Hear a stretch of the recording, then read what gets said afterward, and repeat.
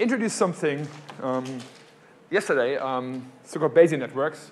I try to, like, you know, encourage you to not, like, you know, just ignore them because they're called Bayesian, because they're really cool. Um, and the whole idea is, um, as you'll see um, today, is that they allow us to estimate a function with an uncertainty. And um, the way I motivated them, I introduced them, you'll notice, is basically like, you know, appealing to physicists who know how to, how to do a fit. And I think, like, you know, if you know how to do a fit, it's very easy to understand, um, to understand these, these Bayesian networks. Um, what I didn't actually get to yesterday was to explain, I mean, how on earth they give you an error bar. Like, you know, I introduced, like, you know, some stuff, but I didn't actually introduce the error bar. So let's, like, you know, go back and do that. Like, let me repeat just because it's always good to, do we actually need it? Well, it's always good to see a loss function on the, on the blackboard. So let me, uh, like, you know, write again the loss function of this Bayesian network. Um, and that was, um, we had that last time, don't, well, you're not copying anything anyhow. So there's an integral, sampling over the uh, network parameters theta. Um, just to remind you, these network parameters are the, what we call W and B, like, you know, in our, in, in our deep network. So these are the, um, the parameters that we're looking at. And um, they have a distribution, and this is like, you know, trained into the network, and then it's a logarithm of, um, wait, the probability describing, now I need to get this right, some training data, giving these network parameters, that's the first term of the loss function, and the second that uh, we now are allowed to call a regularization because I told, showed you, like, know, what it does for the Gaussians was this. Um, um, regularization between a prior that we had to introduce and that as good non-Bayesians, we, Bayesians, we will vary and we will check, check, check for its effect. Um, bottom line is don't make it too narrow because then you inhibit the network from learning, uh, from like moving around. If you make it too big, too wide, then you just like make it a little harder for the network. And like, you know, and this is our Q. These are our, our distributions that um, our um, network parameters can follow. And as I said, this Bayesian network is something that I love, and we do this in my group, and like, you know, I'm convincing lots of people. Oh, I should say, like, you know, I can't say that in front of the, in front of the camera. Like, you know, the arguably most conservative people in, like, you know, Atlas, and probably also CMS, are a bunch of people who, like, you know, are worried that they understand their QCD jets right. It's the so-called jet calibration people. Um, they're very serious scientists. They're very serious about uncertainties. They're very serious about like getting everything right because they calibrate an object that everything else, uh, else uh, in Atlas and CMS is based on. And if they screw it up, like you know, the number of screwed up analysis is going to be literally infinite. So like you know, they're, they're super conservative. And I recently talked to a bunch of these jet, jet calibration guys because they want to use neural networks and they like them and so on and so forth. And they actually liked especially these Bayesian networks because of the additional control and because of the additional um, of uncertainties um, uh, measures that, that they give them. So these networks are like, you know, for hardcore physicists, if you want. Proper hardcore people. Okay, so this is the, the loss function. And then let me also write down like, you know, what we wanted to um, encode in the network. And that was, in our case, like, you know, just a regression. And I call this an amplitude over, over um, over phase space. And I'm just repeating the formulas from last time. So um, the amplitude um, expectation value here um, had two, um, two sampling steps. Like, you know, one was if you know the, the, the, probability distribution over the amplitudes, you have to do an integral over the amplitudes, and then we have to do the integral over the, over the network weights. A, and then P of A given theta, and P of theta. Oh, theta giving the training data. Um, and remember, like, you know, this is just, I had this on the blackboard last, last time, and this is just like two integrations, a little bit of an exercise in conditional probabilities, and then this is trivially true. And I'm omitting all the X um, um, dependence here. And, you know, after training our network, we replaced this function here, which, like, you know, is not tractable, but, like, you know, it's something like, you know, that, like, you know, tells us everything about the training data and how, like, that enters um, the theta representation and replace that with this learned function q here. So that's dA d theta a p of a given theta q of theta. And now there's no dependence on the training data because we assume that everything with the trainer data has actually been learned, uh, trained into this function q. And uh, let me like, you know, introduce a shortcut here now. And you see the way I introduce this, um, and that's the mathematical, like, you know, the simple trick um, that's behind the evaluation of these networks. The way I introduced this, I first had the integral over A, and then I had like, you know, P of like P um, um, A um, um, given the training data, and then I divided this up into theta. Now let me like, you know, in, uh, reverse uh, the, the order of the integrals. So now write d theta, q of theta, right? And call the rest of it, like, you know, this entire A integral here, uh, something like whatever, A bar. I mean, just need a symbol with a bar of theta now defined as an integral over dA. Uh, what else are we missing here? We're missing that A. And um, then we're missing the P of A given theta. Um, that's obviously correct. I mean, because nothing has happened. Right? I mean, this is just like switching the, um, switching the definitions um, of the, uh, in the integral. And like, but, this, but that's actually the way we're going to like, you know, now evaluate the network. So like Q of theta, this is like, you know, encoded in the network, these kind of this combination, and we should be able to evaluate the network now. And be evaluating the network, here you see, by sampling over the network parameters. This is like, you know, about the switch in the two, in these two, um, in these two, in, the, in this order has like given us.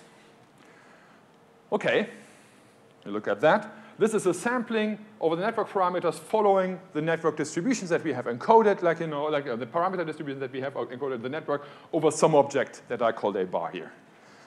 Um, if you think about that, um, well, I can take this expectation value, and you know, like, you know, mathematically, every time you can write down an expectation value, um, you can also write down a variance, right? I mean, so like, you know, everybody knows how to write the variance just by copying the symbols so let me like, you know, call this sigma tot here squared.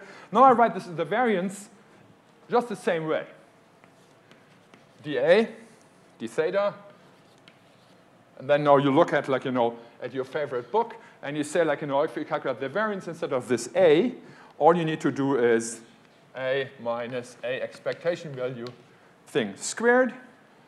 Same two functions here, P of A given theta and P of theta given the training, or like, oh, actually, P of a given theta and q. Let me just start here.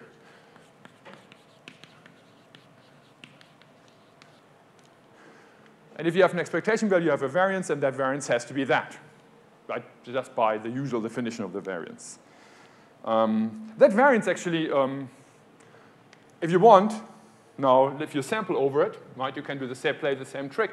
Theta here Q here, and then the rest of it, and that gives you like, you know, the object that you sample over to like, you know, to, to give you the uncertainty. So clearly you can like, you know, by sampling over theta, following the distribution Q of theta, you can calculate for the amplitude at your point, phase-space point x, you can calculate the expectation value and the variance or standard deviation. That gives the error estimate from that formula immediately, right? Nothing, nothing complicated. Really as simple. Um, what I want to show you is there's actually a little bit of a trick. Um, to like, you know, even like, you know, look into the structure of the sigma tot, um, which works by like splitting these two terms in a smart way. And so this is, um. Yeah, let's just do this step by step. So dA, d theta. Um, now, as, as I bracket this out here, um,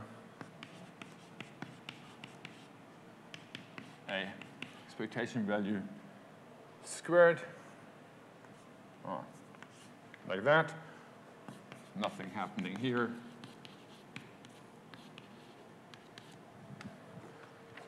Then, um, so this is just like dragging it out. Now I'm splitting this like, you know, into, into three different integrals, these three terms. Uh, why, why do I do that? Because you see, um, I can pull the A expectation value out of the integrals, so like, you know, I can simplify things a little. So the first integral here is actually not simplified at all. Actually, wait, yeah. Oh, and let me switch uh, the integration order just like I did here. Um, take q of theta out. And so this is my theta integral, and then I have the a integral, as I told you, like, you know, they like behave differently um, because the a expectation value can be pulled out of the integral. The first term, though, nothing happens. It's a dA, a squared p of a given theta. The second term here is a minus twice a expectation value, leaving the integral, integral dA, a p of a given theta, right, plus a expectation value squared, integral um, dA p of a given theta. Bracket close. These are just two integrals. And um, okay, in a very slight abuse of notation, I can, um, you see, I can take this bar here over A, which is defined as the expectation value, like, you know, like um, of, of A, given the distribution P of A given theta after integral over A, I can generalize this to here, this case where I would now call this an A squared bar. I mean, just, just like, you know, um, writing this down. So like, you know, what I write is a d theta q of theta. And then I have this one here, a squared bar. Like add a squared, and like, you know, then you have a squared bar. a squared bar is not a bar squared, obviously, because of that integral thing, right? Um, now be careful, like, you know, these things depend on theta. Um, whereas a expectation value has an integrated out theta. So this, like, you know, I keep that explicit. Then I have minus 2 a expectation value here, and this is nothing but exactly the a bar of theta um, plus a expectation value squared, um, just times the normalization condition here. But if this is a probability, then that term here is going to be 1. This integral over a, p of a given something is a probability distribution, that's 1.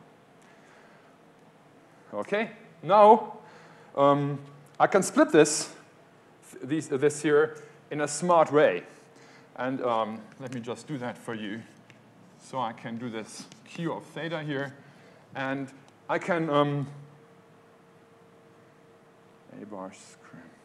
Yeah, I can I can split this here by introducing, an, in addition, a term a bar squared. You'll see in a second why that is useful. So like introducing a bar squared, which means that I have here, the first term um, is an a squared, no, it's an a squared bar of theta. This is that term here. And then I introduce a minus a bar squared. So square is really above the bar here. That's the first term. And if I do that, then you see here, this just becomes a squared, right? So now I have plus, and then I have in parentheses, I have an a bar squared minus a expectation value, no, an a bar minus a expectation value whole, thing, whole thing squared. A bar of theta minus a expectation value whole thing squared.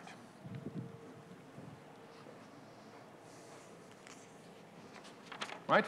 I mean, that's obviously just a little part, a few lines of math, not super complicated. However, that allows us, let's see, to define two different, two different uncertainty measures. Like, you know, one is here, and one is here. Um, so I can, can write now sigma tot, the uncertainty squared here, has two contributions, and I just give them names, which are like, you know, historic to some degree. Um, so the first one here, um, we named this sigma sto stochastic, um, which then turned out in the second paper to be total nonsense, but let me still call it sigma stochastic squared. Um, and this one here, the, um, um, the second term, people call for historic reason sigma predictive, sigma pred. And extremely suggestively, they add in quadrature. You know that, so they're two sources of uncertainties because two sources of uncertainties always add in quadrature, right? So like you can think of them really as two sources of uncertainties. Now, if you think, if you look at them differently, right? So sigma pred here, this is the historic one that like, you know, every, everybody knows how to do, is um, the integral now d theta, q of theta, um, and then it has this a bar of theta minus a, a expectation value whole thing squared. Um, okay, what do we know about that? Um, what we know about this is if you do go into the limit of our um, deterministic network, where Q actually, a Q of theta um, becomes a data distribution where all thetas just assume their like you know best values uh, theta naught and nothing else happens. So like you know they're not allowed to fluctuate anymore. Um, well, then you see then this this thing vanishes. You evaluate that a bar here at theta zero, and this is, is, is a expectation value. But if, if you think about it, an expectation value is also really just a bar by that definition here, evaluated at like, you know, the best value point. So which means um, this is a bar minus a bar, all evaluated at theta zero, so this is zero. That's good, because that tells us something about this uncertainty, and that is if your network is like, you know, well-trained, super well-trained, like, you know, all distributions are super narrow, everything is perfectly trained, then this uncertainty will go, to, go down to zero. How do I achieve that? Like, well, I, I achieve that by having a generally powerful, powerful enough network and just throw away the training data, more and more training data, like, you know, as much as exists in the world, and eventually, like, you know, the network will be super well trained if it's powerful enough. So you can think of this here as the statistical uncertainty.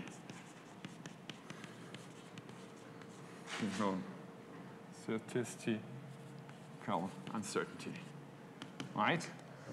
Okay, whereas the second one, sigma stochastic, as we call it, squared, is d theta q of theta. Now this is second, the first term here. Um, this is this a bar squared minus a squared bar. Um, a squared bar theta minus a bar squared of theta. Well, yeah. Um, it looks like a typical, like, you know, like, you know, variance, if you think about this. Um, and quite honestly, there's only so much I can, talk, I can say about it. I certainly, in the limit where Q becomes incredibly narrow, and this gives you something very narrow, but then this gives you like the difference between first squaring and then integrating here over A, or first integrating and then squaring. And that's not going to go to zero. I mean, it's going to give you something, right? It's going to be something that depends on how, how well um, you know, the network has learned like, you know, the properties. So this one here, you can think of um, as a systematic uncertainty.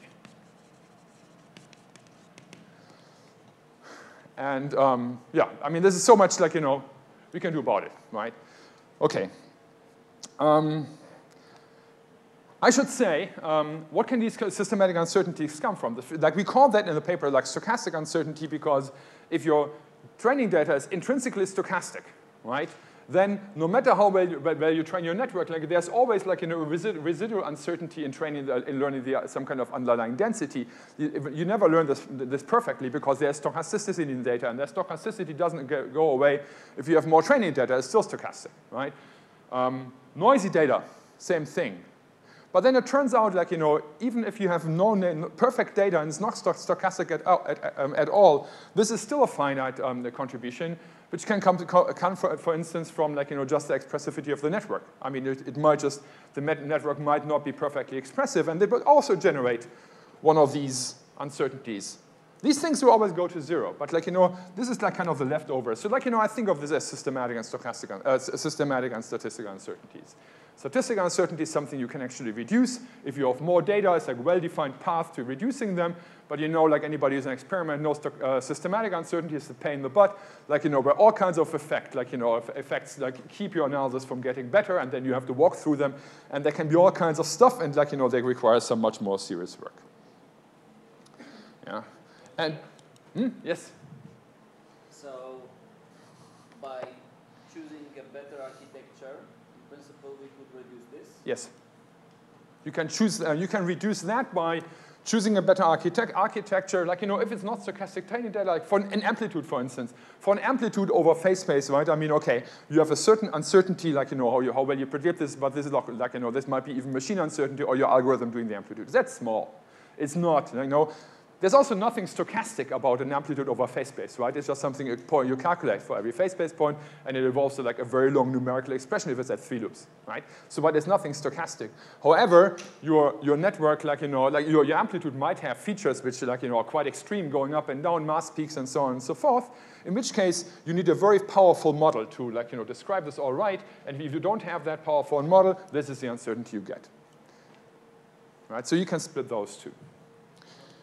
Yeah. So you said that the network lacks, lacks expressivity if it, this doesn't go to zero? with That could be one, one source. What does it mean? Sorry. Oh, sorry, yes. Um, going back to the, to the, to the fit.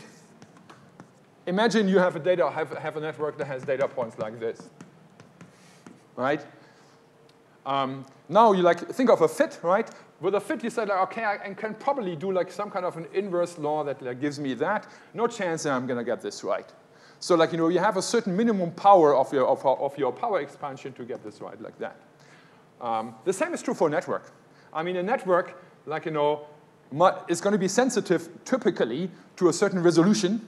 And like you know, if you have like a very very narrow peaks, and the network tries tries tries tries, tries to express that, the network will be tempted to just like you know basically interpolate that away and ignore that thing if you don't tell it not to because you know it, it gets about five points right, four points right, and this one here it doesn't matter. So for your uh, loss, right? I mean, so like um, what you then need is a network that has more parameters, where like you know the network feel, feels confident to actually go to smaller resolution and all of a sudden resolve this kind of mass peak. Same fit network, same thing really, right? I really think that, like, you know, like thinking over these networks as a physicist, as, as, as a generalized fits, which, by the way, is also the great success of, like, you know, neural, neural net parton densities, our famous, most famous application, right, is, is always very useful, almost always. More questions? You had some. I saw hands. Oh, yeah, him, yes. Uh, what happens if you have a, a twofold degeneracy in some kind of? Um, question here for, uh, it was like, you know, what have what a twofold degeneracy? You mean that you like, um, what do you mean by degeneracy? In a, in a two-dimensional plane, I could do y-top fitting for Higgs glue get plus and minus solutions, for example. So that you, like, yeah, so like, you know, think of a two-dimensional plot here, two, two parameters, you like, you solve something, like, or you have a phase-space distribution, and you have essentially like equivalent structures here and here, and nothing else anywhere there. Um, same thing. Um, depends on the setup of, of your hyperparameter of the network. I mean, what, uh, any network will typically get one of those right, even if it's not very complex. To get the second one right, the network needs to be two, two things. First of all, it needs to be powerful enough to actually encode it.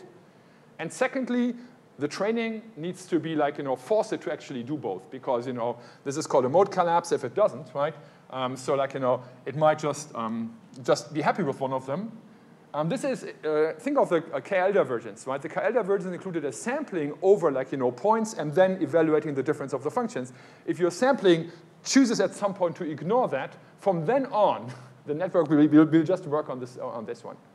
Um, so it's two things. You need to, for, for, for in, in that sense, if you have, that's a, quite a challenge. You, you need the network to be expressive enough, and you need, you need the network to be, um, to be, um, to, to also be trained to force, to use its expressivity to actually do that function. But then this specific systematic or stochastic error is dominated by the true minimum, and then you always get the opposite. Oh, so he's asking, like, you know, what happens with these uncertainties, like, you know, um, in these kind of cases? Well, um, let me just like postpone that question to about like three minutes, and then we have it. Yeah? So, um, what I want to what I'm going to say, like, you know, okay, now we have the network. Like, we come come back to your question, Felix. So, like, you know, what we learn here is, is two things. Like, you know, we have the predictive uncertainty that, by the way, has nothing to do with theta, right? Um, right? I mean, this is like, you know, defined even in the limit from theta zero. And this here is a function of theta. So what I can, the first thing I do is I can actually split these two uncertainties and say, like, this here is something I learn over theta space. So I can define my BNN here as a network that maps, first of all, x space and then theta space onto a two-dimensional output. The first one is defined here. This is this a bar that depends on theta, right? And x let me just write this now explicitly here. And the second object that I can write down is sig- sigma stoch, but now of theta and x. I'll call this model, doesn't matter. Like, you know, your sigma, it's not the predictive one that's important, of theta of x, right? So these uh, uh, two objects are defined at the level of, in the- uh, as a function in theta space, in weight space, and a function in x. So your network will learn, if you put this in the right, like, you know, in the, in the loss function, um, um, if you like include this, it will learn that contribution and that contribution, right? So um, you can, let me just write the loss function that gives, him, gives, gives me that first. So now I'm repeating the loss function and I'm going from here to the very, to the very end and making this like Gaussian, so like, you know, it's a little bit simpler. So now my loss function now, if I know these kind of two things, looks like this. It has a d, d theta and has a q of theta, but let, let me indicate with an index mu and sigma that now I'm, i want these q's to be Gaussian. Um, I can certainly try that. Um, if it doesn't work, I can modify that function to something that works better. But like the simplest shot that we always have is, um, is Gaussian. And then you have like, you take your training data points, xj, and then you have this likelihood here, or log likelihood. And um, yeah, let, us assume that this log, log likelihood also has a Gaussian distribution. If that log likelihood has a, has a Gaussian distribution, it comes with an uncertainty. I can only write this down if I have an uncertainty, right? A likelihood, log likelihood needs an uncertainty chi-squared, right? It needs a sigma. But you know, I have a sigma, it's that. That sigma I can use for that, right? So here I would have like an A bar. Um, this is like, you know, what's coming out here of theta j uh, minus A bar training data or truth squared. This is the numerator of the log likelihood ratio, right? And divided by twice the sigma um, here at this certain point in phase space, and I call this stoch, or like model, if the data is not stochastic. It's, it's a non, it's a systematic. I we should call that, have called, should have called that systematic at the time. Um, when you in, introduce the sigma into the Gaussian or likelihood ratio, normally um, the term, like you know, we never mentioned here, um, um, we never mentioned is normalization, but remember if you write down the Gaussian, sigma appears in the normalization term. So we better get that with us, take that with us um, into the formula. So this has a log of sigma model, or like stochastic j of theta. And this is all like independent on x, as I said. Um, sigma, okay, this is the two terms. And then the second one is the KL divergence, and I told you that's going to be Gaussian plus, and I wrote the formula down for you. I just want you to see this formula. 1 sigma q squared minus sigma p squared plus mu q minus mu sigma and mu p whole thing squared divided by 2 sigma p squared plus log sigma p over sigma q. So that's my loss function of my network now. So this is actually what we do in practice. So this is our, like, you know, nicely written. I mean, like, you know, this is like, you know, like, you know, the physics results are always nice when you write them down like E equals mc squared and there's no index and it's a representation invariant and generally true. And then you write this down and then like you actually write down the formula. The worst example is the standard model Lagrangian. I mean, the worst example in the world is like the standard model Lagrangian, where you like, you know, can write this super elegantly or even just talk about it. We talk about, and, and then you write it down at like fills pages, like once you have all the indices in. Same thing here, right? I mean, this is our loss function, nice and pretty. This is our loss function reality. This is literally how it appears in the code for amplitude training. So what you see here is that two things. First of all, you have a model uncertainty over phase space that you can track you know it's a function of the theta and the theta and of theta and, and, and x, and you can sample it, and then you get this one. In addition, you have this like you know, the sampling uh, step over theta, right? You can do that, you can calculate this, but there's also this uncertainty left here that I cannot actually write like you know, as a theta-dependent counterpart. So the second thing I need to do is I also has to have to compute the sigma pred, and the sigma pred requires now explicit sampling over my over over theta like distribution in the network. So I have two uncertainties that my network constructs. This one here, the model of stochastic uncertainty that enters the loss function, the Gaussian in that case approximated loss function, and then the second one that gives you the statistical uncertainty. And let me like the typical plot when you plot these will look like this can erase that, that we don't know and need anymore. So um, the typical plot is, imagine you, well, I know, you calculate, you know, amplitudes, you do something, um, um, and you estimate, like, you know, the uncertainty of your network output, sigma tot here, um, as a function of training data.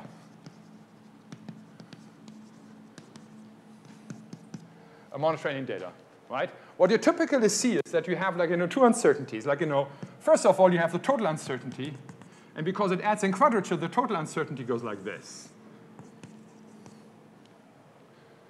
Right? Why?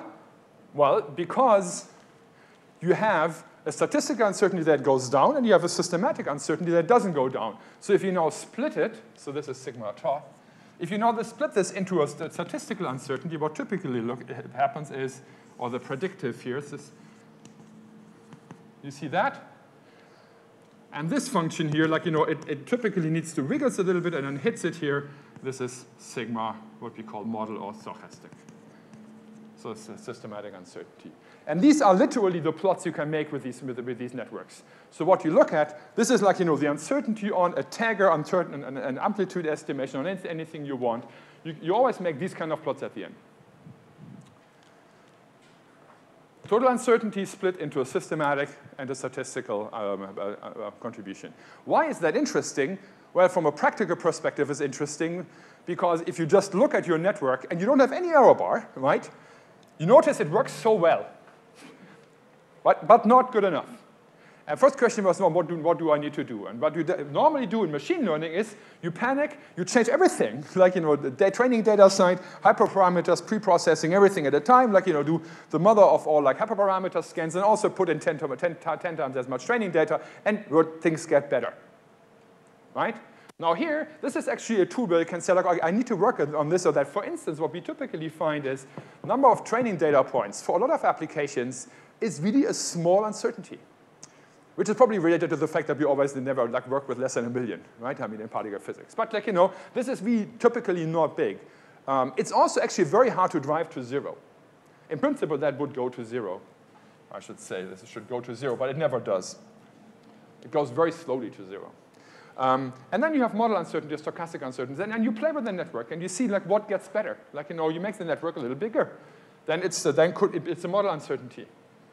Or well, stochasticity, like you know, you play with it. The easiest way of testing stochasticity, stochasticity is basically add some noise to the data and like you know, see if like you know, the thing here, noise, and see if that behaves like that, and then you have a stochastic problem, right? I mean, so like you know, these kind of you can now, now can now can play with the data, pre-processing everything in a very well-defined manner. You can improve your network there where it lacks precision or power, right? So this is like you know one opportunity, like you know, you, with the Bayesian, you can, for which you can use the Bayesian networks to really make a difference to your network training. So, is it hard to do network Bayesian networks? Well, depends. Like you know, all the things like you know that you need for like coding, they're available as standard libraries. Just have to like change your loss function. The loss function, obviously, here is slightly more complicated an, than an MSE, which would be just this term, right? MSE is sigma, um, uh, sum over j. That that's an MSE. And now we have stuff here and stuff here. Um, then we have like, you know, the well-defined, like a regularization term and have all these kind of things. Right, so it's a more complicated loss function. Let me let two things about these, these, these Bayesian networks. Um, so that first one is, um, forget about like, you know, forget about the statistical stuff, forget about the sampling of theta, right? Um, just like, you know, go into the limit deterministic network theta is just like the, uh, uh, um, theta network is just um, theta zeros. So this our entire sampling goes away. That doesn't. That here becomes an L2 regularization, right? Okay, you can write this down. So what changes, even if you go into this, the deterministic limit, is that your loss function keeps sigma stoch. And you know, I, I told you this is not going to go to go down, go to zero if you go to a deterministic network. So um, this loss then has a name. It's called um, heteroscedastic loss. It's also, by the way, I should say, like, oh, I just advertised, this is all like, you know, Yarin Gal thesis. I think it's 2016 or something like this, something ridiculously late compared to my like, lifetime in physics. Um, any case, so um, so like, you know, he actually wrote this down. It's like, I have never tried this. I mean, like in my group, we do Bayesian networks all the time. If anybody wants has a network that's hard and tough and doesn't want to be trained, like do me the favor, try this heteroscedastic loss and let me know what it is, what comes out. Because, you know, it's something I always wanted to try.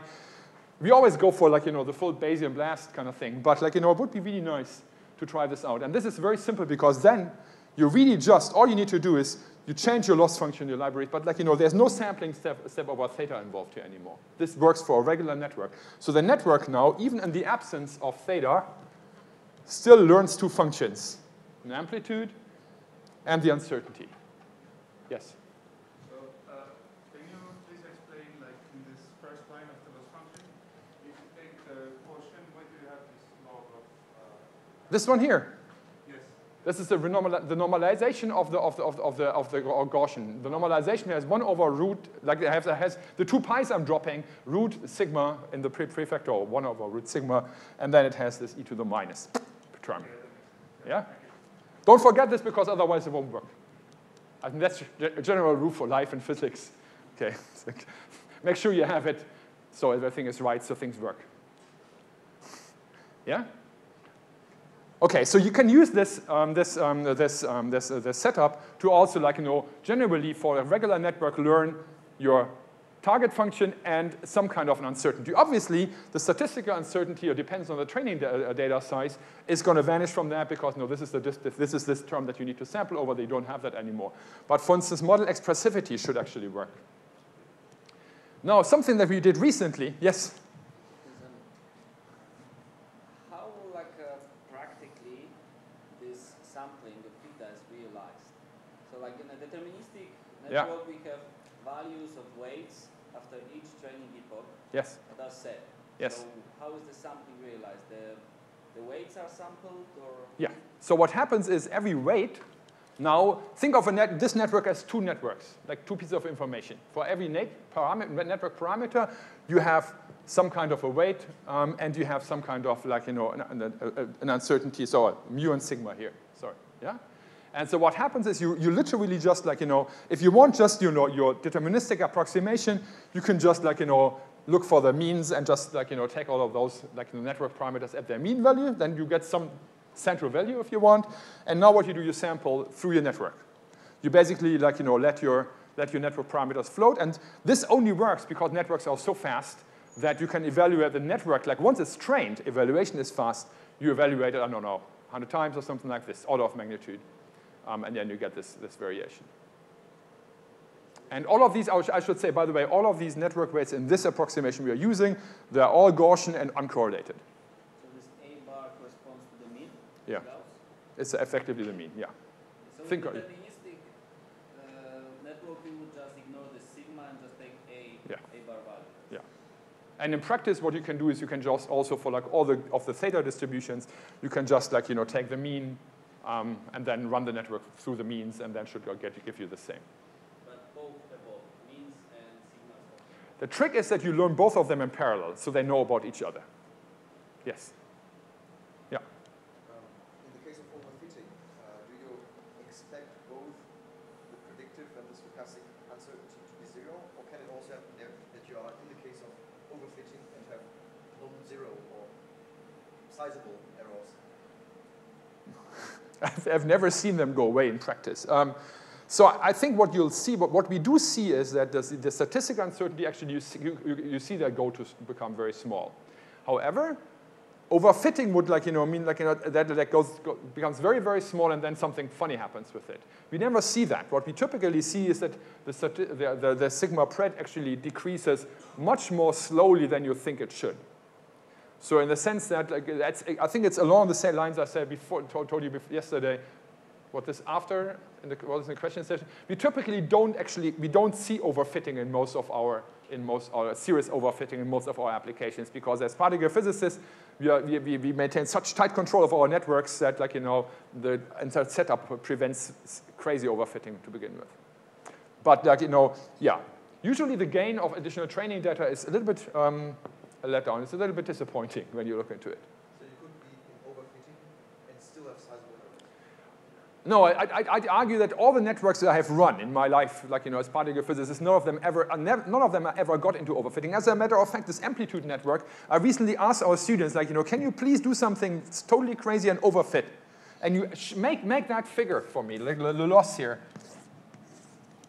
So this is train, this is test, right? Right? They tried, doesn't work. We don't get there. Why? Because the, net, the networks with the like regularization, everything we put, we put in, and the implicit bias are so constrained that actually the worst you can reach is this. So we, we never have that problem in reality, um, in my personal research group life. yeah? Yes?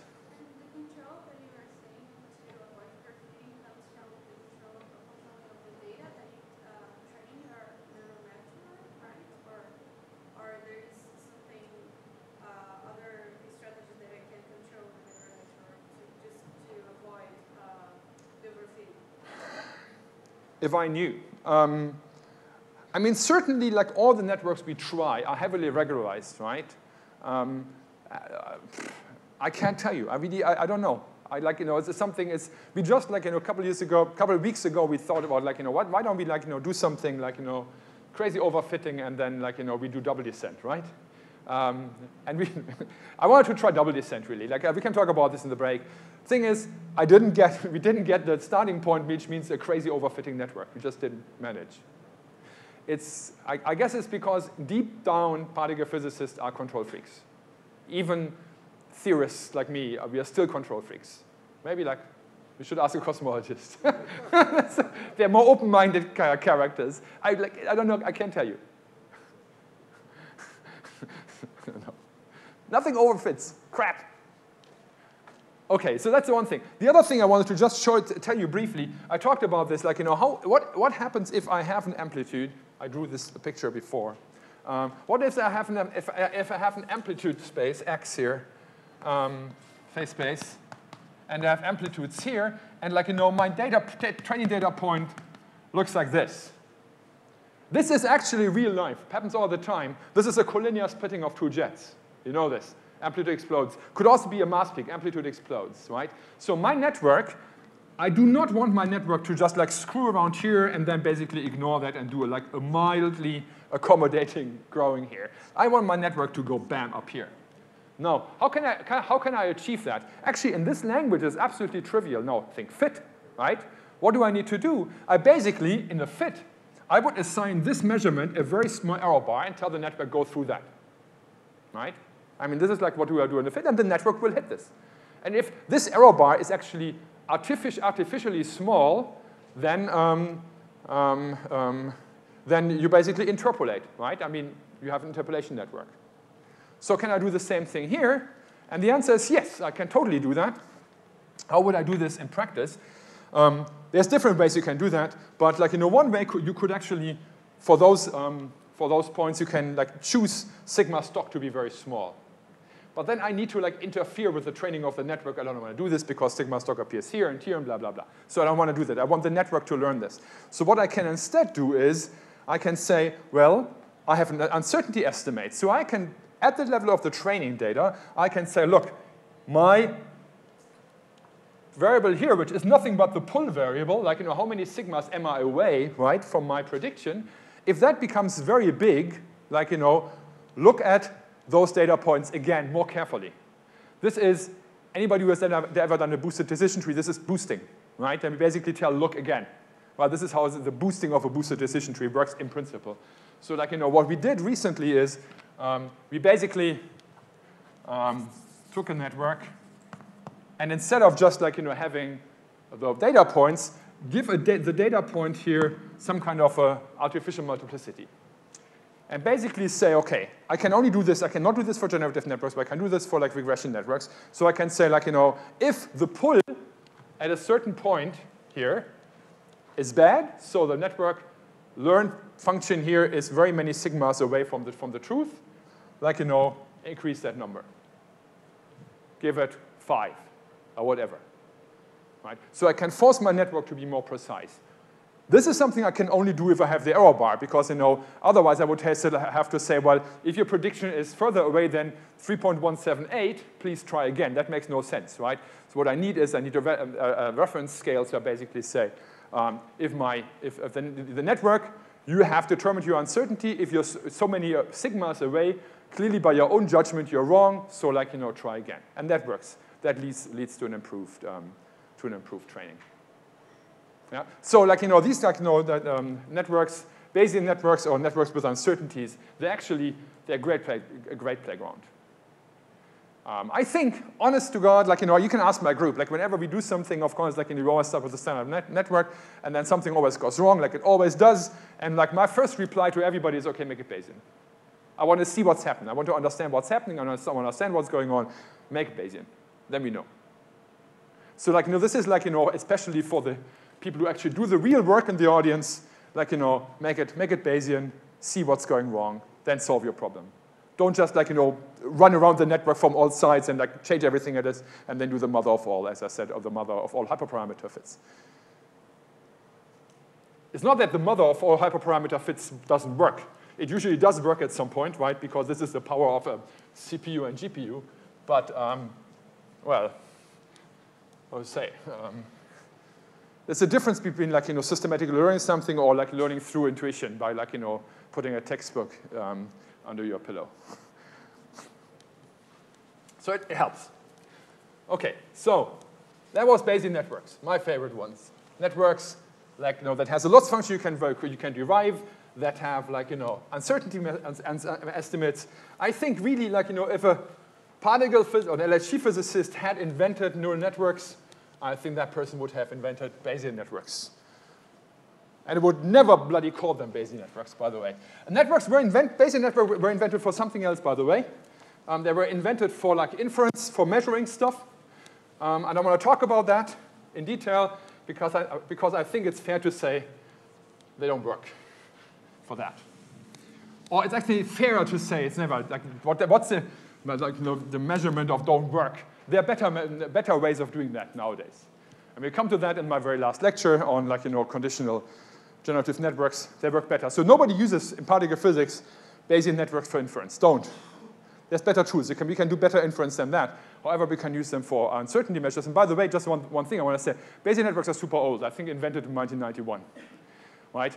And it took the world, I don't know, until whatever, 2016, like, you know, decades, to figure out that you can use them for inference as they were intended to, and at some point, that you can use them for uncertainty measurement. And by the way, the person who figured this out was a graduate student at the time. Just saying. Like, you know, I don't want to like, you know, put a bar here, but like, you know, jump over this, please.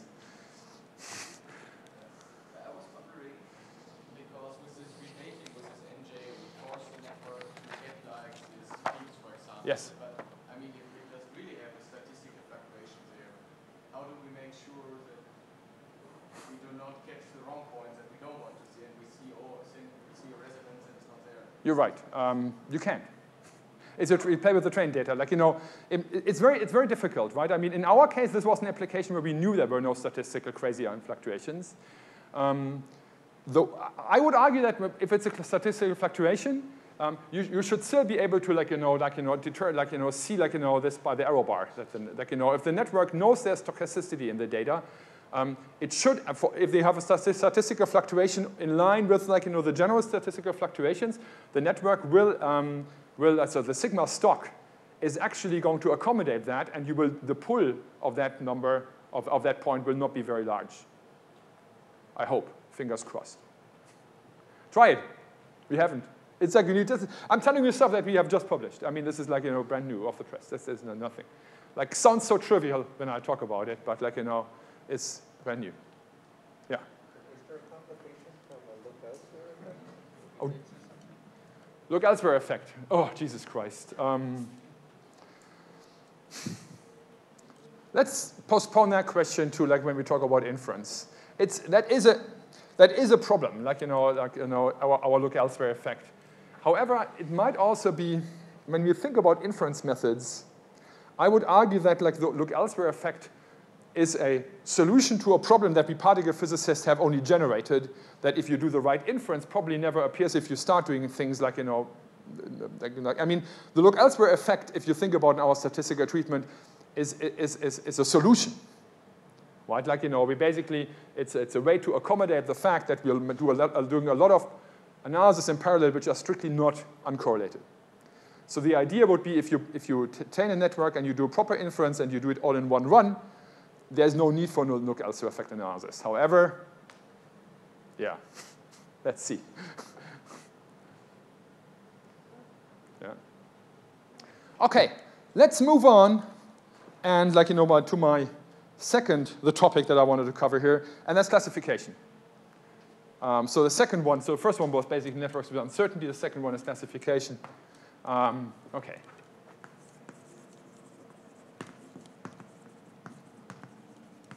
What's classification? Think about like, you know, the standard like, you know, neural network application that everybody has like always tried to does like machine learning in particle physics, and that's jet tagging. Everybody does jet tagging because it's easy, it's simple, the data format is, is, is, is, is simple. It's not very complicated in terms of the physics, like, you know, you can do this. So like, you know, in this, like, you know, have a QCD jet. Is it a quark or gluon or is it a top quark? Simple question, simple answer, right? So what do I want here for my network? I still have the classification network. I give it my kind of information on the jet, jet kinematics, and I map this to a network function um, f theta of x, which to first approximation has to be between 0 and 1. And ideally, it's also going to have, it's going to have a probability output.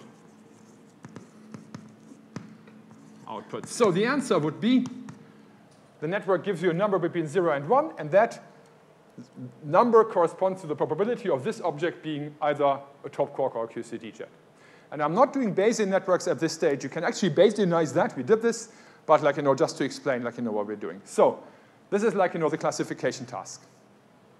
First thing is make sure that f theta, like the output is between 0 and 1. Well, that's not super hard. You basically, in your last layer, you know, you, you do like a sigmoid function or something. You basically do a transformation where you take the unbounded space of like, you know, weights and you like, you know, map this on a bounded space. Um, this is, which is between 0 and 1, and there's a whole lot of different ones, and, and typically people do use a sigmoid for that. I don't want to talk about this. This is simple textbook stuff, right? Um, the more interesting question is, if I want this thing to be a probability output, um, what's my loss function? I mean, clearly, not every network that I train, for instance, on an MSE is going to have a probabilistic output. Like, why should it? Right? I mean, there's nothing probabilistic about an MSE. Why should out of nowhere my output be, should be probabilistic, right? That's it's not. It shouldn't be and it is not. So let's think about this, this like, you know, how, how would I like um, think, about, think about a classification?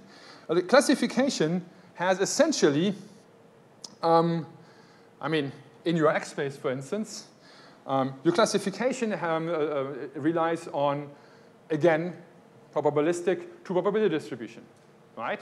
So you have probability, probability distributions for something being a signal, and you get this right, and you have probability distribution for something to be in a background. Right? And for both of those, you have some probability distribution that's implicitly encoded in the training data. Let's we call this p data. Like it's a function of x here. I give it a second index s. And I have a probability distribution that I want to put into my, um, into my network. This is going to be the model of that distribution. And when the network is well trained, these are identical. Same thing, background distributions, P model background. So there's two things, three things I can say. First of all, if these, these things, the network is well trained, then data and model should always be the same for signal and for background. Second, p signal with a probability should be 1 minus p background. So they should add to 1. That's because they're probabilities. Right? The third thing, there was a really important third thing. Ah, yes. Neyman-Pearson lemma. So if you want to tell apart the signal from the background the best possible way, right, then I know from the Neyman-Pearson lemma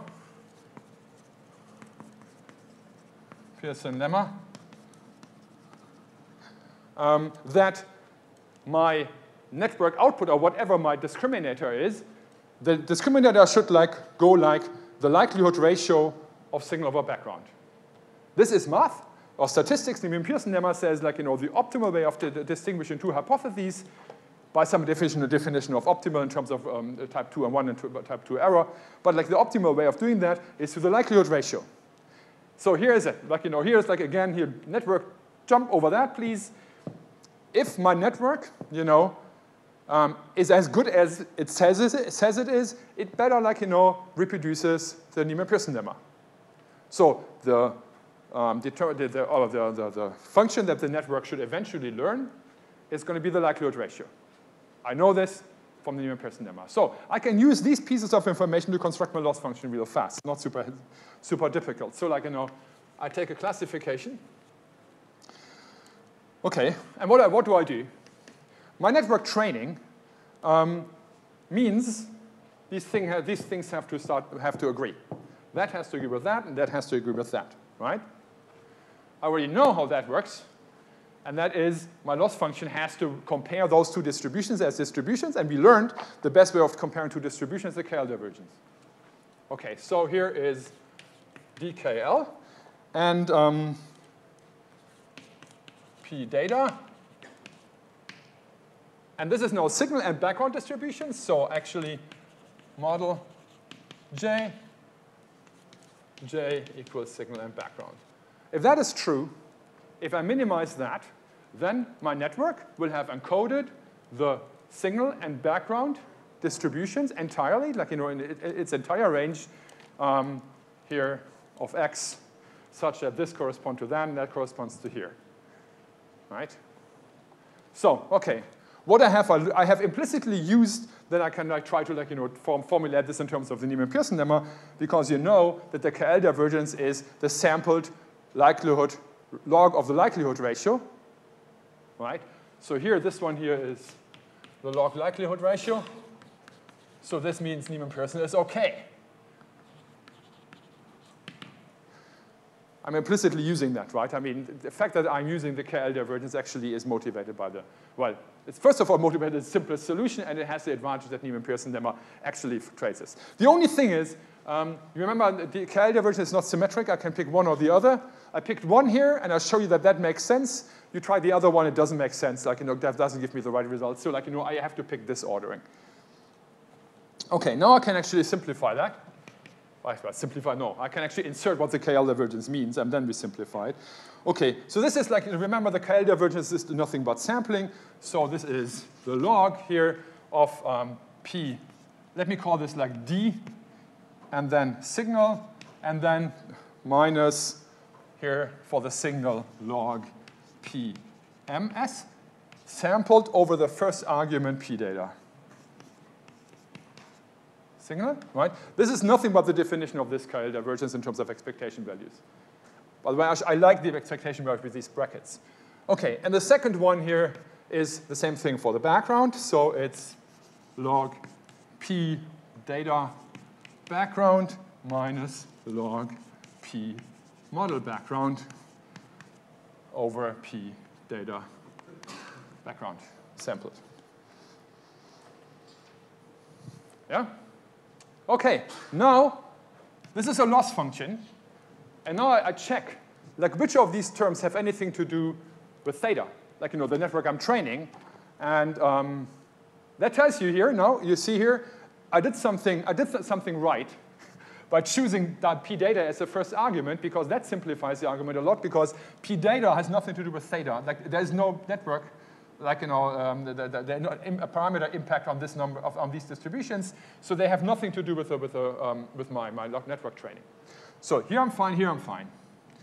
Um, then p data here, yeah. I mean nothing to do. Sample p data uh, following p data. That's nothing to do with the model, right? So I can forget about that. And I can as, as well forget about this factor here. So I can simplify my, my life by just removing all the constants of the theta p data. And then I have minus log p model background over p data background plus constants of theta.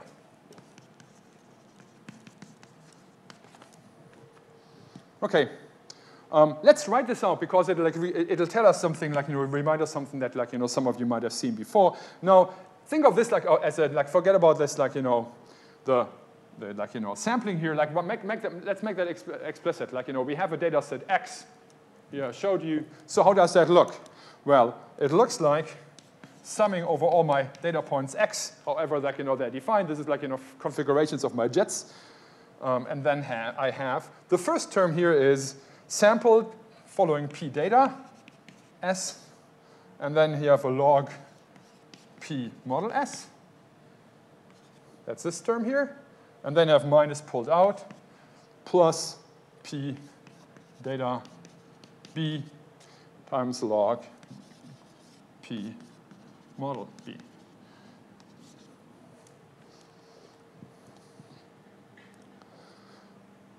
Okay, now um, look at this, and especially look at like look at, at this formula in the case where your actually your training has worked, which means that data and model for S are, about, are the same, roughly the same. Data for background model are, background are the same. So your function that you're like um, minim minimizing here is the sum over your data points, um, p signal log p signal plus p background log p background. Anyone Remembering that term? Fitting people? This is um, called the cross entropy.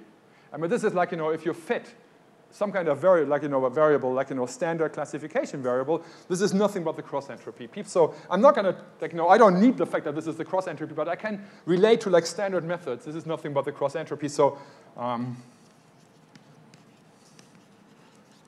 historically, when you read the machine learning papers, they say we're using the cross entropy, cross entropy loss function. That is actually correct. This is the, the, cross entropy.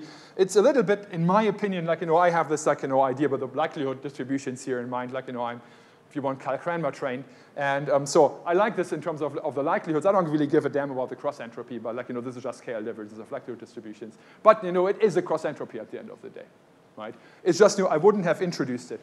Uh, in the first set of lecture notes, in the, early on, I, I'm, I like introduced the cross entropy, and then like you know, I decided to just like you know, for, go for the likelihoods right away.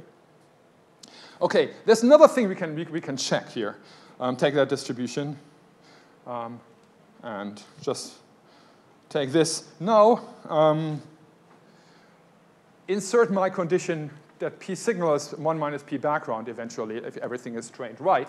So if you think it's trained right and like, you know, the probabilities actually are probabilities, then this is not encoded here, right? I mean, I also need to into, take into account that p signal is 1 minus p background, right?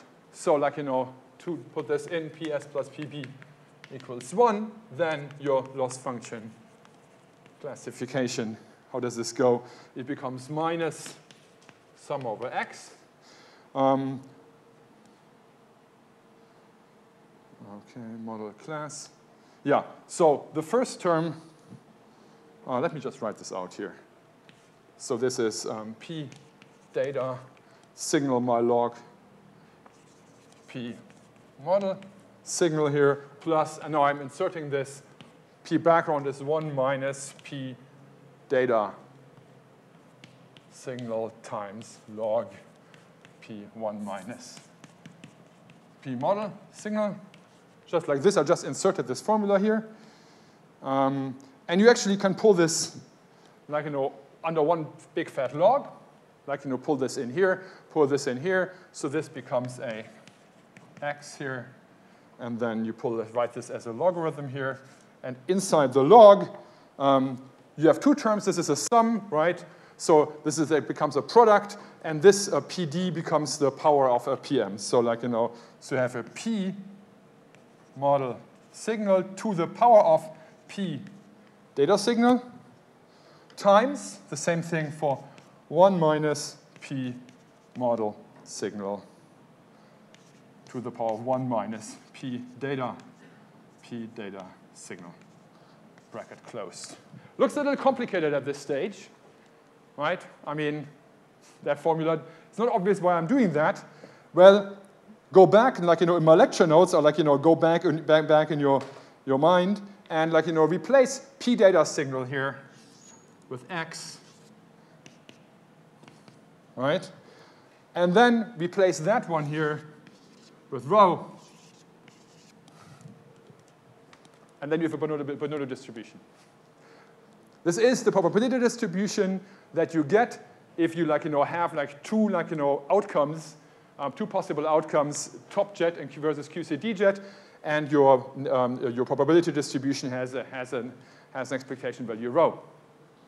So what you see here is that my function that I've written down here actually fulfills, like, you know, I started with probability distribution or likelihoods, Neyman-Pearson lemma, put this in, got the cross entropy right, so like, you know, I can relate to the standard like classification task. You look into it, you write it out. You also see what you really do is, if you like manipulate it right, what you're doing is your, your, your classification um, here minimizes the logarithm. Forget about the fact that the logarithm is smooth, right? Um, of a uh, Bernoulli distribution, um, a Bernoulli probability distribution, but sort of as a likelihood, right? I mean, this is all, all um, classification trying to like, you know, construct, construct your, your model such that it um, agrees with the data. This is still the training. So what you do is like, you know, here, standard thing, like, you know, what you're doing is like, you know, yes, you're constructing a model it, will fulfill the Neyman-Pearson um, lemma. The outcome here is like, you know, just like, you know, uh, optimizing um, the Bernoulli distribution as, term, uh, as, a, as thought of as, as, a, as a uh, likelihood, right? So, yeah, does everything, right? So all the statistical part, like, you know, cross entropy and stuff like, just comes out of this very simple argument. You have two distributions, you need to get them right. We know, like, time-honored machine learning KL divergence, Remember, we picked that because it's simple and easy. You write this. The only thing, the only choice you have to make is like, you know, not do this the other way around because then nothing comes out right. So like, you know, that's the only choice you have. The only choice is like, you know, we sample following the data. And that we need to make this argument. And now I have my loss function for a classification network. Derived just from the same likelihood arguments that we always derive our loss functions from. No, like, you know, whatever, like, you know, um, uh, hand waving, like statistics argument, just likelihoods. Okay, I promise I talk a little bit about, about networks now. Um, how do we classify stuff? Let me just like, you know, sit and we, we talk a little bit about what, what, what, what, what would I like, you know, do with such a classification network? Um, well, I mean, the thing is, for, I guess, purely sociological reasons and like, you know, for reasons of like, you know, making things simple, like, you know, a field like particle physics, a bunch of people will just agree on a task that, that we play with. And this is like, you know, you have to give like, you know, credit to the, the boost community, so the boosted objects community and like, you know, with their conference and stuff, um, that like, you know, they defined our perfect task. The perfect task that we're always looking at is jet tagging. So how does a jet look?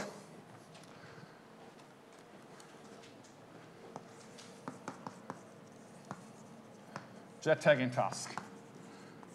Specifically, my favorite one is top versus QCD. Why? Because it's the easiest of all tagging tasks you can imagine. Right? It's like it's the simplest one. Right? So you want what you want is you have a, gluon and it splits into all kinds of garbage here and makes a jet and you want to compare that to a top, which equals to a B and a W. The B like does all kinds of crazy stuff, and the W goes to two jets, and they also do crazy stuff, and that's another jet. And you want to tell them apart. Right? So I wrote down my classification as x map to f theta of x. So this one here is my classification task. The first question, and that is the basic question you can ask here, is Okay, people have done this. I've done this. I don't know for how long I've done this top tagging, like, you know, on complicated algorithms kind of crap, like, you know, stuff, I mean, really complicated. And by the way, used by Atlas and CMS, like, they all had their top, top tagging algorithms. So what you do is, normally, you take all the information about, the, about, your, about your jets, you construct a bunch of variables, invariant masses between two correlators, all kinds of stuff, and then you do a, at the end of the day, you do some kind of crazy algorithm, and then, and then, and then you do multivariate analysis, and then you get some kind of result. And that's dependent on your algorithm and the power of your multivariate analysis. This is, um, yeah, result is more or less good, let's say. Right? So um, the fundamental question here, though, is why should I go through, these, all, through all these variables in the BDT? Like, I have never actually said what this x is. So let's make x some representation of the jets. And this is like, you know, I think this is the idea of Ben Nachman originally. He said, okay, like, you know, this is how the LHC detector looks. Right? So the, you know the variables, like, you know, this one here is the azimuthal angle, as is called phi, and this one here is the rapidity pz or eta, right? So what people, what, what Ben Nachman, I think, also as a student did, He said like, okay, um, take one of these like, you know, pieces of the calorimeter, look ins from inside outside, then the way a jet will, oh, make this bigger, then a jet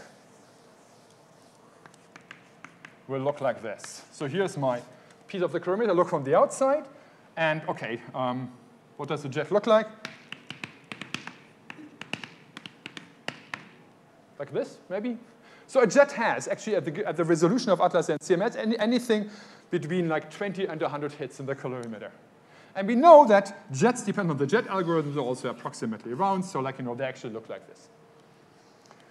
Um, okay, now, if you think of a rep jet representation like, uh, the, uh, um, like this, then what you have actually done, you have um, written uh, yourself, like, you know, your jet image. Images are cool. Why?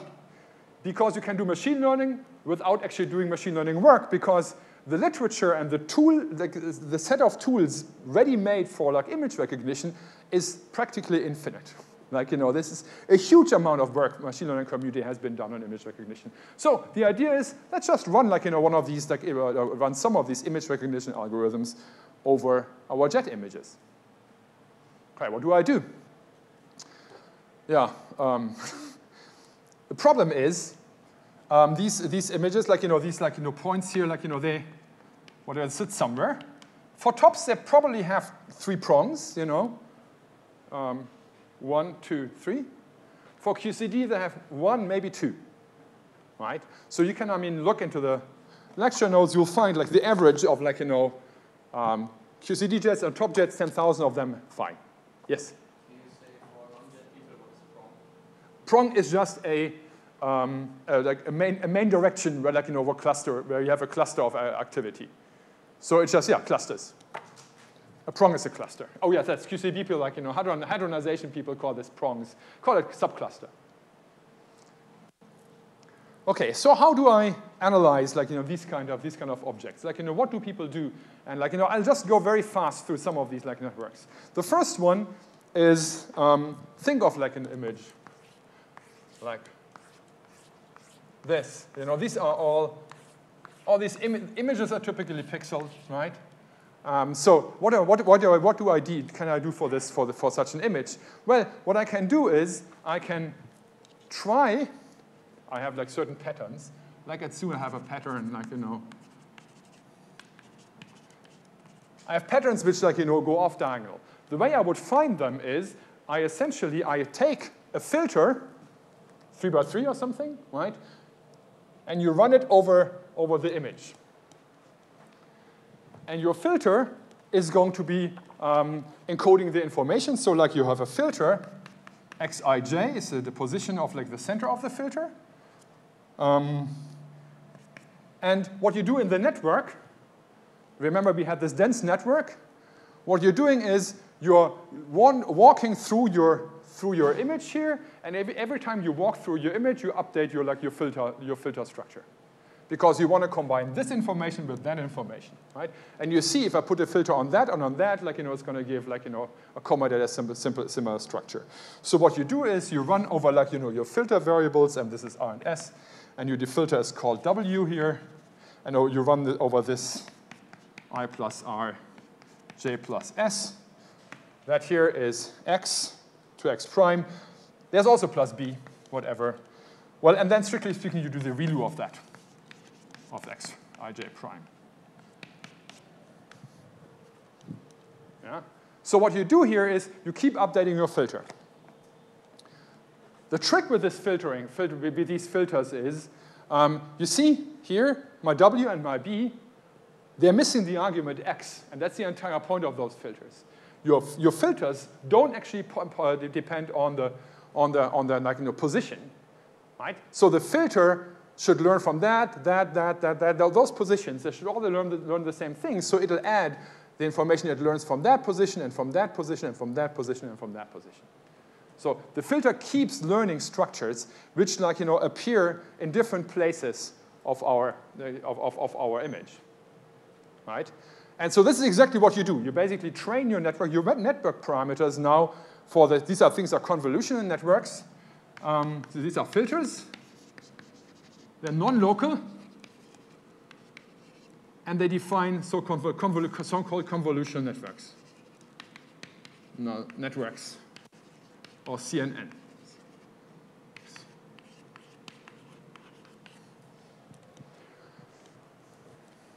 And now you can run these filters um, over, over your jet images, and you encode quark jets, like quark and gluon jets and top jets in a certain like amount of like you know in these filters. I mean, what do I expect?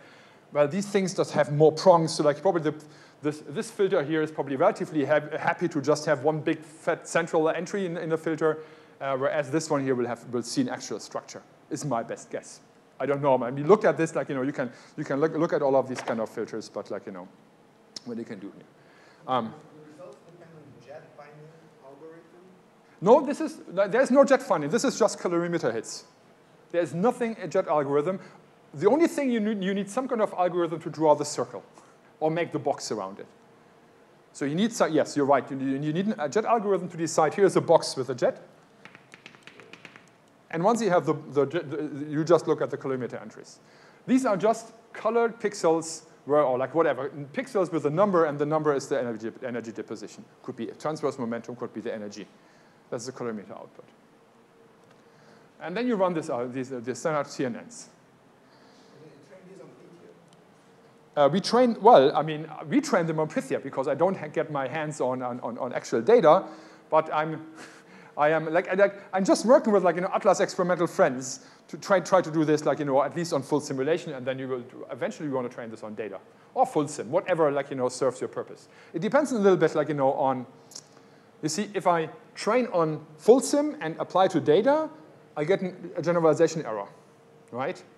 If I train it on data and apply to other parts of the data, like you know, I, get, I might get, I get some kind of a bias.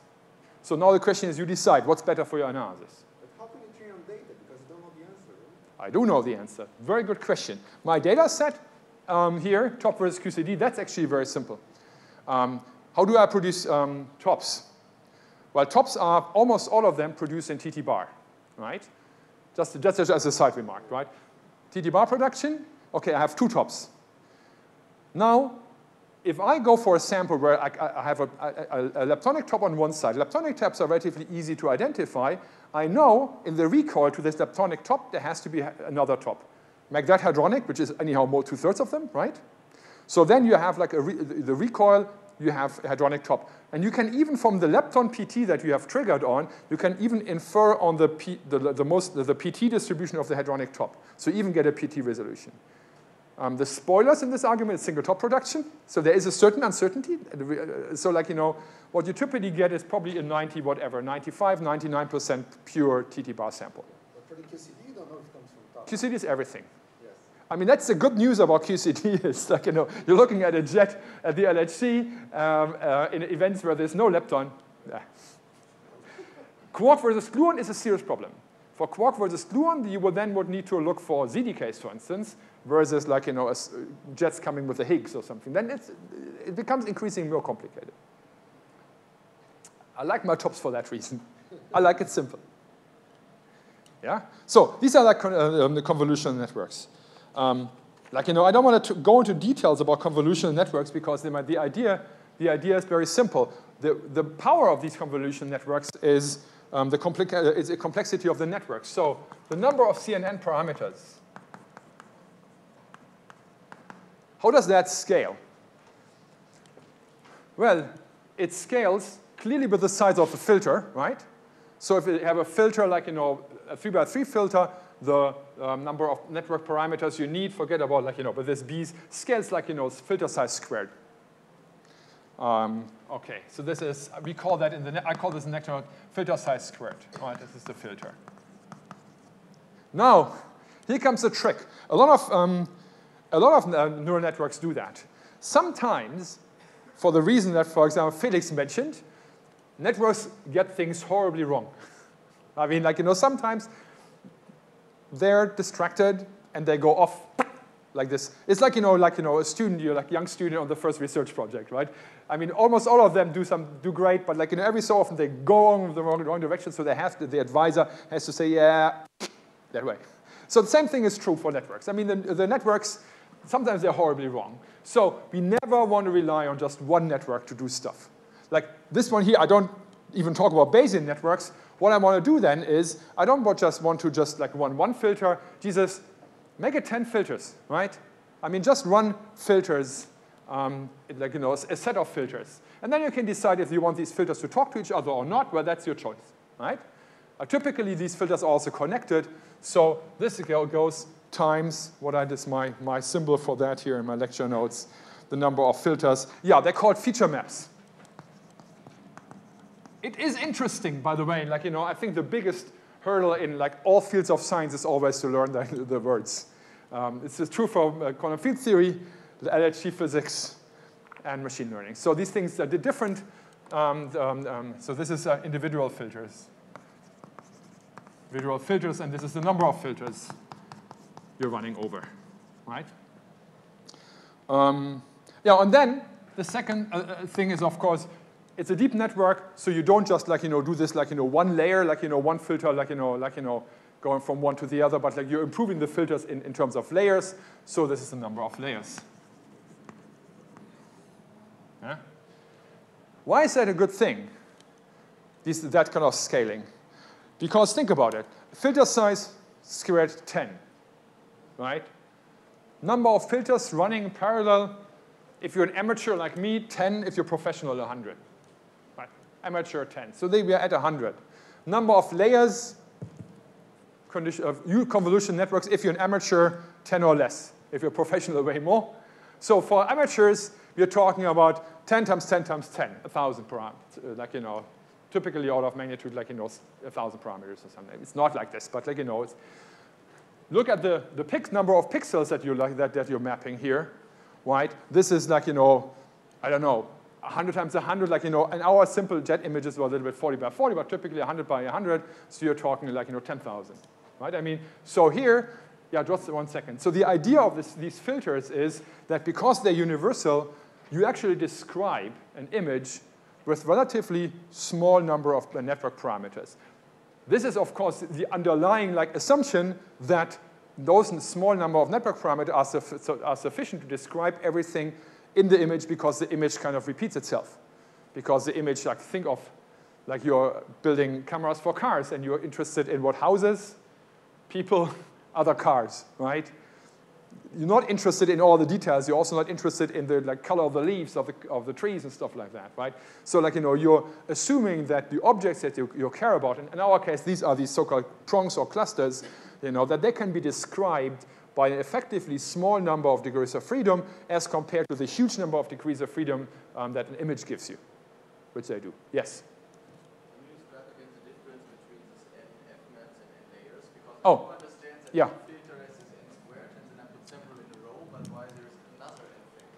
Oh, is because like, you know, like if, if you open your phone and you look at figure eight, so like, you know, I have like, you know, my network works like, you know, I have like an image and I have filters and like, you know, I look at one filter and I make the, it better and like, you know, it's better.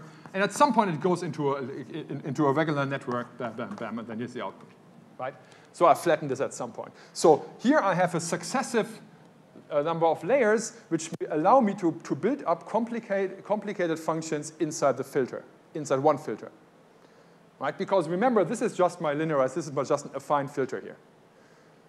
Right? There's nothing, it's not very complicated. And then the trick is that instead of, of like one network here, you're basically allowing here for several, and they all talk to each other. And they run in parallel or they might, typically we allow them to talk to each other. So at every, every layer has a stack of different filters. And so this is the size of the filter. This here is the, the depth, depth of the stack of filters, and that's the number of layers. And this is like, you know, standard uh, convolution networks. There's nothing any physicist invented there, right? I mean, this is all, I don't know, machine learning. So, right, I mean, so this, this is the first, the first network that people did. Um, what's important is that um, in our um, representation of the data, like, you know, we kiss our theory predictions goodbye, if you think about it. Like, you know, nobody cares about a carefully crafted observable. Why? Because in like in a, like, um, in a way, you tell the network, find your own representation that works best. We just give you the information. This is not quite true though, because of, because of like, you know, we actually give the data format. And the data format does actually like, you know, produce a huge bias for a reasonable representation at the end of the day, right? The data format is crucial, how like, you know, you give it, and we'll, we'll talk about this at the beginning of the next lecture. But, you know, this, at least these are kind of the classification networks. And these classification networks, the simple one is a CNN. And I just want to show something, like, you know, our top tagging challenge, because um, um, it's nice. So people started doing this kind of thing and worrying about all, all kinds of stuff here. And you know, like um, we have a conference uh, called ML for Jets. It's historically called ML for Jets. It should be like really machine learning for particle physics, but it's called ML for Jets. And like you know, this is where people meet and discuss these kind of issues. Um, it's a conference I know about the like the youngest average age, just to say. I'm always, uh, I think me and like two other people, like, we always see old guys, and I think everybody else is like, you know, I know, closer to the age of my daughter than to me. And like, you know, it's a very excited conference and stuff like that, and we compare results. And there is a very, very strong and extremely useful tradition in machine learning conferences to have data challenges. So what people do in machine learning conferences, you will find all, all this all, all, over the place. Like, you know, somebody, like publishes a data set and a task. And then they say, okay, here, here's a data set, here's your task. And in our case, there was this top tagging thing, and we said, like, we published this in um, one of the machine learning conferences because we were worried, like, you know, what's the best architecture? And we told people, like, try, play with it. And then, like, you know, next year, a year from now in Chicago, we meet and we see what comes out. And we did. And um, it was top tagging, and it's um, the convolutional networks. And I just want to explain to you, like, you know, how the output looks before we, like, you know, and, and continue tomorrow. So what you typically produce for all of these classification tasks, your, um, um, you plot your results, because you know it's very hard to compare them. You plot your results in a two-dimensional space. Um, one way of doing that is here. This is the efficiency, like you know, of getting the signal route, right? So like you know, this is true positive, and then this one here is um, 1 over the fake rate. And actually, we typically log um, 1 over epsilon b. And any tagger, any like classification tool, anything you want, will always give a curve in this plot. So this is a log here, and this goes from 0 to 1. Um, this is how they look. This is called an ROC curve or receiver opera operator characteristic. It basically gives you, for a certain signal efficiency, the background rejection that you can achieve with the tagging tool. This is for classification, I don't know, for those of you who don't know this, kind of, this is, for classification, this is what everybody talks about. It's all ROC curves. In the, the way I, read, I draw them, like forget about the details, upright is better here, right? And like, you know, I'll show you tomorrow that, like, you know, top tagging was one of these curves, and I'll show you, like, also in the, in the lecture notes, I'll show you, you know, like, you know, where the different networks came up. So, like, let's call, this is the CNN curve here. Um, a typical tagger is, of course, has now a C curve, but then it's usually actually defined just as a working point, what Atlas, Atlas or CMS do. That would, like, sit here. Um, like, you know, where, like, for the same signal efficiency, your background rejection is a factor 10 worse or something like this. And that is, like, let, us call this my tagger so I don't offend anybody else. Like, you know, my tagger sits there and looks very, very pathetic in comparison. And the next question is, that we'll try and try next time is, are the CNNs, are they really the best networks to do that? Or can I use other network architectures inspired by other machine learning applications invented by other people? Um, can I use them to like, you know, take this kind of what we call low-level data and make a better tagger. But that's for tomorrow. Thanks.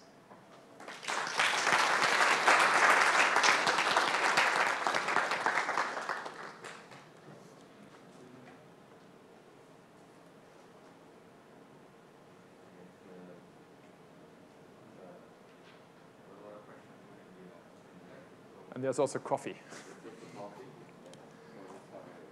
Yeah. Yeah. Peter. Thank you. So, we're moving into physics. Yes. Yes. Answering the fundamental question, is that physics? Is, is CNN Yes. the best network? I don't know. I don't Uh, look, I mean, it's suggestive, right? Um, oh, wait, let me switch off the microphone when we talk about that.